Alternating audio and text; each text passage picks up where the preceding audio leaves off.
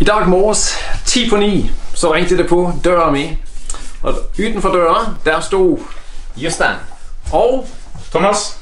nettopp De hadde reist fra Oslo til Askim lørdag tidlig morgen. Og eh, hvorfor gjorde de det? Jostein. Yes. Jeg eh, har, eh, hadde hørt, hørt rykter om at det skal være sketsjbordkurs her. Eh, av Thomas.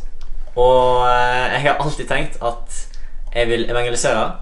Eh, og på gata. Eh, og da tenker jeg at sketsjball er en utrolig god og fantastisk eh, god måte å vise evangeliet på. Så bra. så bra. Thomas, hvorfor eh, tok du turen til Askim i dag?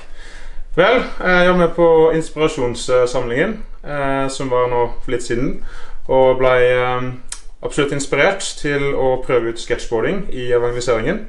Så ser på det som en utrolig kreativ og effektiv måte for å dele evangeliet til, eh, til mennesker på. Så du har tenkt å eh, bruke det? Eh, det er ikke bare sånn treningsdag eller Ja, vi ønsker absolutt å gå ut på gata, evangelisere og nå mennesker med, med det gode budskapet om frelse. Og det synes jeg er helt topp.